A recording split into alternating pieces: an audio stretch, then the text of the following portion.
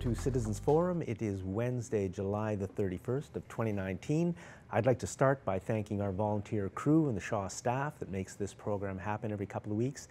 Uh, we're going to start by talking about a very important uh, subject, which is something called 5G, which means fifth generation. My guest is Sharon Noble. Uh, and Sharon, you've been working on the issue of wireless communication, the health impacts, the privacy impacts for a long time. And here we are now, they're at the fifth generation. The fifth generation, yeah. that's right. And for people who see 5G, I want them to know there are two types of 5G right now that they're seeing. And I think the industry is deliberately trying to confuse us. The 5G that people see on their cell phones, if they have cell phones, which I hope they don't, and on their modems, means 5 gigahertz. That's the frequency that's being used. We're not talking about that. what we're talking about is the fifth generation of wireless technology. The first generation was in about 1980 with the big cell phones that only had made calls. And we've come through various upgrades, the various upgrades of the uh, technology. The most recent was 4G about 10 years ago, but it was all based on the same platform. 5G is not an upgrade. It's completely new. It's completely different. 5G technology has never been used on the public before. In fact, one aspect of it has only been used in the military as crowd control weaponry. And that's what they're putting out or will be putting out. Now, I want to show some people some, a picture here. These are out here already. This is a transmitter that is being put along our streets. It's being put outside homes, basically making your utility pole, your hydro pole, a cell tower. And let me show you how close it is to homes. It is right outside homes, mere feet from bedrooms where children could be sleeping. These, maybe you can also show the distribution throughout the. Yeah, these things have started to be put out uh, about three years ago in Colwood, is when I first saw them. And now they're basically everywhere in British Columbia. This is a map showing the distribution, and this is about um, this is a few months old, okay. of the distribution in various parts of Victoria. And if people go on a website, this is our technical website, it is emrabc.ca. They can find out what's happening in their communities. Look under nodes at the top of the page. Okay, emrabc. That's right. .ca. Now, should we be concerned that these little transmitters are now on basically one or two on every block? Is that the idea? They're being put up about every two to six homes. Now, the reason they're doing this is because part of the technology that they're going to be using is using very short waves. They're called milliwaves that do not travel very far. They're very biologically active and they're very energetic, but they do not travel very far. So when you say biologically active and energetic, what do you they mean? They are extremely high in pulses. And as we know from talking to various scientists, from reading studies, the high pulsations cause the most stress on the cells. And these pulse at a very high rate. They're very, very tiny, very, very short. And they pulse. That's why they're using them, because they can carry a lot of data. And these are extremely dangerous, and they've never been exposed to the public. And scientists are warning not only is it going to be very biologically active for humans, but also for insects, for trees, for all living life. And yes, we should be concerned. These are being put outside our homes without our being told, and we can't get away from it. It's going to be going 24 7, 365. Now, these little transmitters, which you showed, they're active now, yes. but they're using 3G and 4G technology on them. They hold multiple transmitters. Okay. Um, TELUS is putting them up uh, right now, and they uh, contain many transmitters, and they are replacing the big macro cell towers that you see to some degree. They're putting these throughout our neighborhood so that they, they can get closer to us. They can provide us with, quote, faster service, even today with our 4G smartphones that are out there. And the faster service isn't really that much faster. It's, it's a misnomer. When But they have their own reasons as to why they Well, want this. It sounds technology. sexy. You know, we're going to give you 5G. You're going to get faster internet access. When in fact, the internet access is going to be just a few seconds faster. So you can download a, movie maybe three or four seconds faster than you could do today. What it really is looking for is to be able to connect to the Internet of Things. Connectivity is the key. They're going to be connecting everything you wear, everything you own, everything you do, so that they can keep data. The smart meters are going to be getting the data from things that we have in our home. Smart now, the smart meters, you mean the ones at BC Hydro and that we were forced to have. Yeah. Yep, those very things. They've got a Zigbee chip in them that is going to be gathering data from everything in our home. And my guess, and I've got nothing to base it on, my guess is that once 5G goes live, even those of us who have opted out will be forced to go active so that they can get the data from everything in our home. This will be sent through 5G, through the Internet of Things, through the 5 grid, through the cloud. So, you know, our data is worth a lot of money, and they are looking to get our data. Now, our data is one thing, but our health is something else. And what are the health impacts? Of, The health impacts are serious, and scientists are warning that this is worse than anything we've seen before because of the type of milliwave technology that they're going to be using.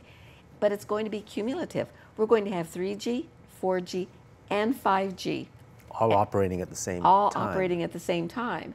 And this, in addition to all of the wireless devices you have in your home the Wi Fi, the smart TV, the Fitbits you're wearing.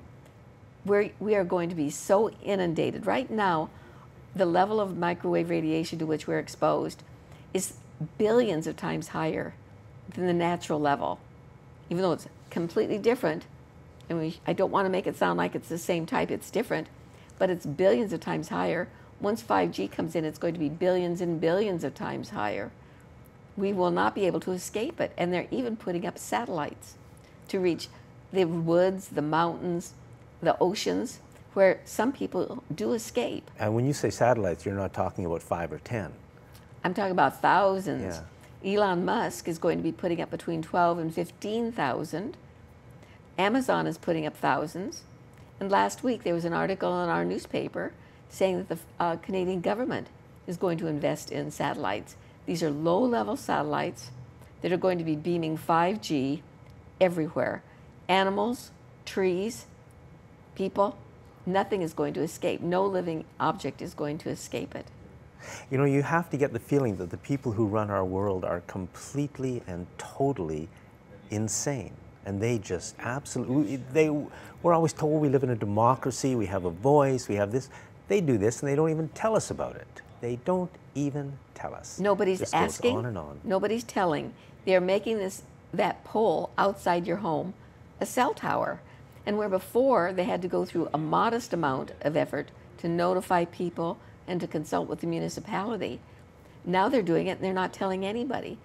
Because Industry Canada's rule is if you put a transmitter on an existing structure, you don't have to tell anybody. Good for Industry Canada. Industry Those corrupt. I mean, it's not their fault. They're just, you know, well, their the job government. is to work for corporations. Yeah. And Health Canada is the one who's supposed to work for us, Yeah. and it's not. And it's not. The fact is, Jack, And the politicians are supposed to work for us, and they don't either. So it's it's from top to bottom. The whole thing is corrupt, and we're paying the price. And the media is gone too, so we don't they don't won't even talk about it. well, the media to a large extent is owned by the telecommunication companies who are investing in this stuff.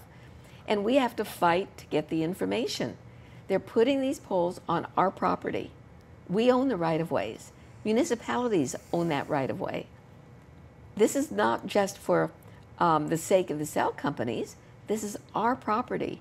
And we should be getting out there and insisting that our local councils and our municipalities are, should be fighting for us. They shouldn't be sitting on their hands and saying there's nothing they can do. Is that what our local city councils are doing? Is anybody here locally doing anything about this? Locally, as far as I know, no one is. Because the, the mantra that you're hearing is there's nothing we can do. Industry Canada's the boss, we have to succumb. That is so pathetic. What is wrong with these people? Fight for us. If we want you to fight for us, at least tell us what's going on. Ask us what we want. Do we want these things up on all of our streets? Are we willing to risk the health of our children and ourselves so a few corporations can make even more money? And if we're not willing to do that, then fight for us, you yes. pathetic. And worse, I mean, not worse, health is the worst. But to top it off, cybersecurity. These things are made by a Chinese company called Huawei. And the government is just not doing a thing about it. Ralph Goodale had an article, an interview, and it was in the Times Colonist today. And he said the federal government is looking at whether they should allow Huawei to do it. Huawei is doing it. That transmitter is made by Huawei. If you can get close enough, you'll see Huawei on the bottom of it. It's in every aspect of our grid. And cybersecurity is something we should not be messing around with. Well, to me, Huawei is no different than any American corporation or any Canadian corporation. They're all out for the corporation. So but, the whole thing is insane. But the cybersecurity is something different. But it's going, it, it, it you know, can you trust any corporation to oh. protect our cybersecurity any more than any other probably, one? Probably not. No, I don't think so. They're but all tied but into I, but the, the fact of the matter is the government else. is sitting there not doing a thing, of course. saying they are, yeah. and we have to get on top of them. Yeah. Those people, we're paying them, and they do nothing. To get their vote, they say nothing. If they make you promises, you can be darn sure they're probably not going to keep them. And it's from the power of the people. We have to educate people, and we have to be willing to get out there and protest it.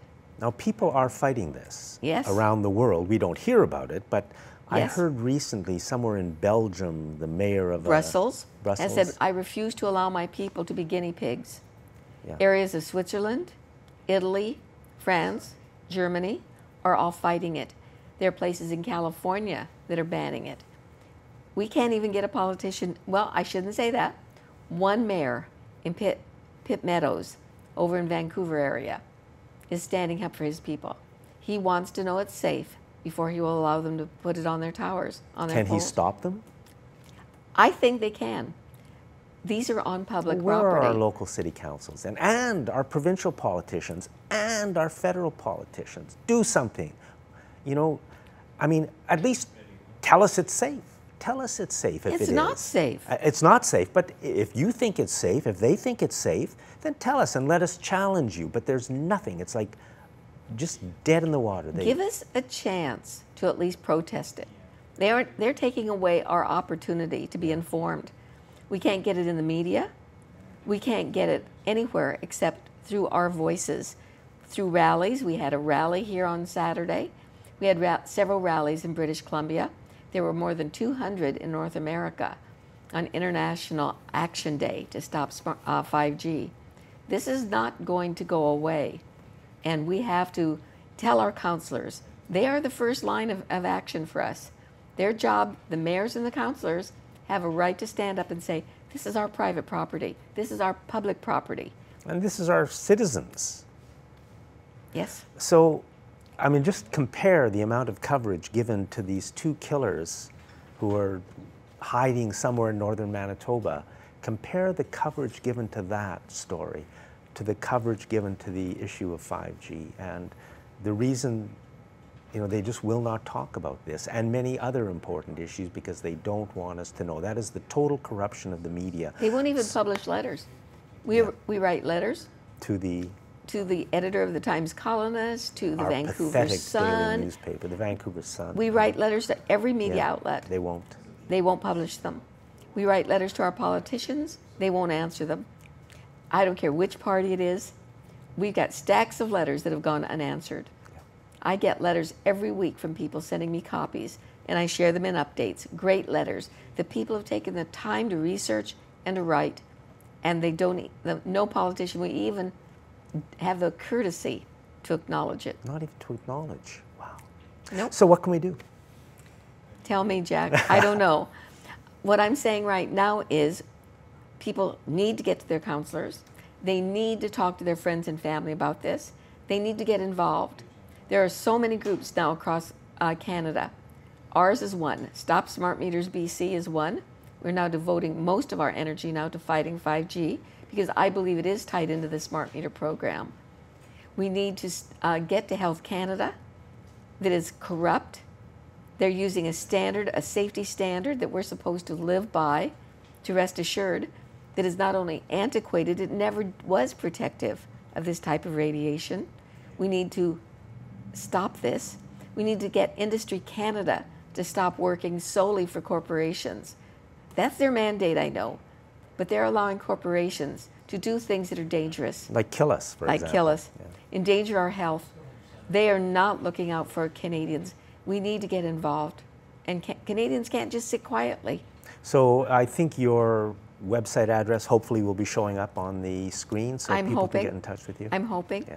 and I would uh, encourage people to get onto our website and also go on to emrabc.ca and check their areas out. Okay. See how many microcells are outside their home. And once they start looking at that picture, they'll see that they've got them all over the place. emr.abc.ca. Thank you, Sharon. My pleasure, Jack. And thanks for watching this segment of Citizens Forum. What we are doing is we are taking risks of the sort that no rational society on earth can possibly take. You know, you cannot simply look away from this and fail to act. But that's exactly what we're doing. In fact, we're running as fast as we can in exactly the wrong direction with 5G. So, um, yeah, okay. So let's, uh, I guess, uh, okay. So there are also DNA effects, uh, which, uh, which, and we know, by the way, that human sperm is impacted by EMFs that we're exposed to every day.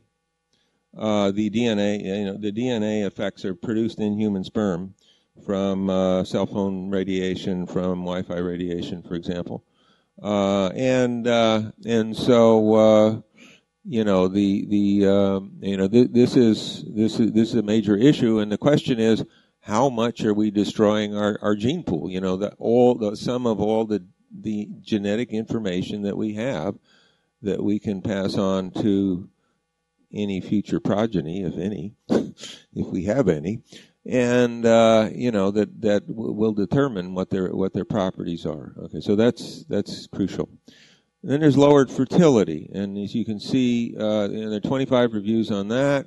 Um, they uh, and you can see there's a whole series of different effects that are produced here, each of which lower fertility. We have reason to think that these are already far along in our technologically advanced societies specifically, um, the uh, uh, there was a review uh, published by Levine et al. as described there. The title is given there uh, in late 2017, which showed that sperm counts have dropped to below 50% of normal in every single technologically advanced country on Earth. Think about that. Um, Reproduction in those same societies has dropped well below replacement levels. Uh, and uh, and I've been predicting for a while, based on a mouse study that I uh, by Magras and Xenos there, that we'll see a crash in reproduction to zero. Okay, is there any evidence for that? I think we're starting to see the first signs of such crashes, and these have occurred in three densely populated, high technology East Asian countries. Um, and let me just say, each of these had had among the lowest reproductive rates in the world before these crashes. Uh, they were below 60% of replacement levels. Uh, Singapore had a 31% drop in reproduction between 2016 and 2017. Macau had a 26% drop. Now, Macau is not a separate country, but it keeps separate statistics as if it were a separate country. South Korea had an 11% drop in reproduction uh, and had another 9%, approximate 9% drop in the first half of 2018. Uh, South Korean government's trying to stimulate reproduction because they know that their reproduction levels are too low, and as you can see, they totally failed. It's going in the other direction very rapidly. It's rare that you see these kinds of drops unless you have a war, a famine, or a major economic collapse. So these things stand out as being something that is very, very unusual in relatively good conditions. Um, so, and and it's my, I you know, I, I believe that it's highly probable that 5G radiation will push many countries over the reproductive cliff much more rapidly, possibly as much as 10 times more rapidly than would happen without 5G. So, um, you know, so so this again, we are taking risks of the sort that no rational society can possibly take.